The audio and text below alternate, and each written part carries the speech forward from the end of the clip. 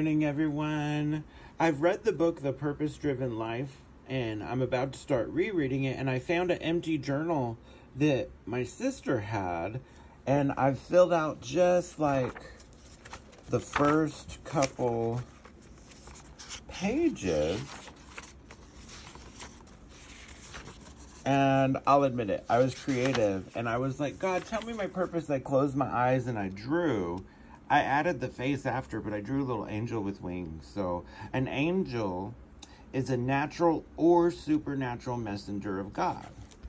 So, technically, any Christian that believes in God and works for Him, which is what you do when you sign up to be a Christian, is an angel.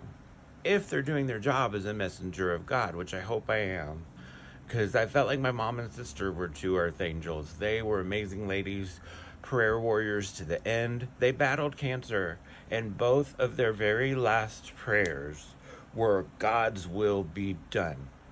All the way, all the way battling through hospice, through not being able to eat, through my mom going into a week end of life like coma state before her body released her spirit to the Lord and my sister was just eating a grape a day, skin and bones, before she went to the Lord. And they both had faith. They both never complained, like Job, when going through so many hard things, except they were sick, they were ill, and they still didn't complain. And I'm proud to believe in God. And I'm proud that I also found out the name Ripstein, which was my mom's maiden name, was on a list of at a Holocaust camp.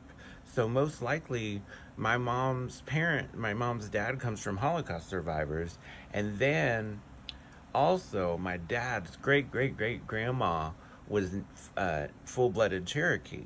So I have both Jewish and Cherokee blood in me. And, you know, technically the world tried to genocide some of my ancestors twice.